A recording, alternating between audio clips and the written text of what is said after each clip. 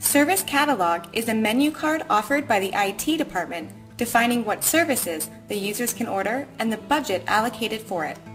Along with defining what's available, it also helps in delivering the service as agreed upon time.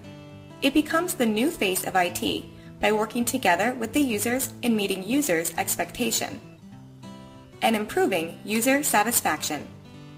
Getting organized with the new catalog. Inside the catalog, the menu items are organized as service categories and services, helping the users get a single view of all of the available items. This simplifies the selection of services from the available list. Some service requests, for example, the new hire request, will involve multiple tasks to be completed before delivering the service. This task will be assigned sequentially to different technicians once the preceding task is completed. If you notice, sometimes the service that you offer will cater the need of all users. And in some other cases, it might be needed by only specific list of users.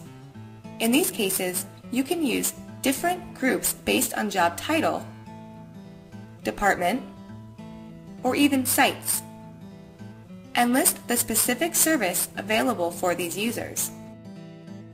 Follow the process with approvals. The service request sometimes needs an approval process before the service is delivered. The approval process will make sure that the request fits into the budget and the user is eligible to get the service.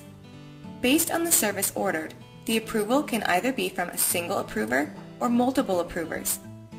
The service request will now be assigned to a technician after the approval process is completed. You can either assign specific technicians for each service or use the technician auto-assign functionality which uses round robin or load balancing method to allocate the request.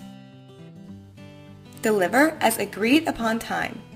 The service catalog also captures the delivery time so that the users will know the wait time for the service to be delivered.